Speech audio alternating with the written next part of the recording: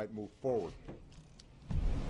First and foremost, we are a nation built on the rule of law. And so we need to accept that this decision was the grand jury's to make.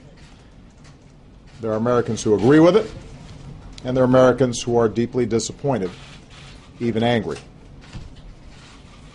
It's an understandable reaction.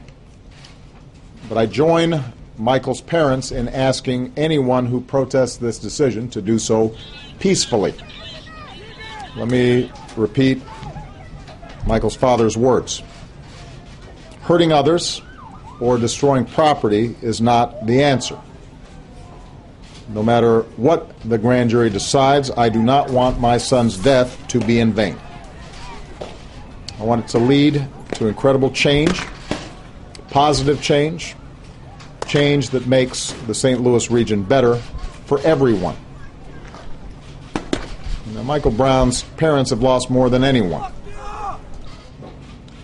But what is also true is that there are still problems, uh, and communities of color aren't just making these problems up. Separating that from this particular decision, there are issues in which the law too often feels as if it is being applied in a discriminatory fashion. I don't think that's the norm. I don't think that's true for the majority of communities or the vast majority of law enforcement officials, but these are real issues. And we have to lift them up and not deny them or try to tamp them down. What we need to do is to understand them and figure out how do we make more progress. And that can be done.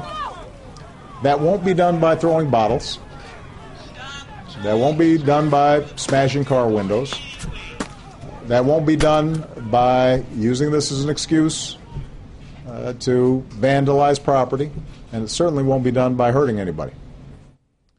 So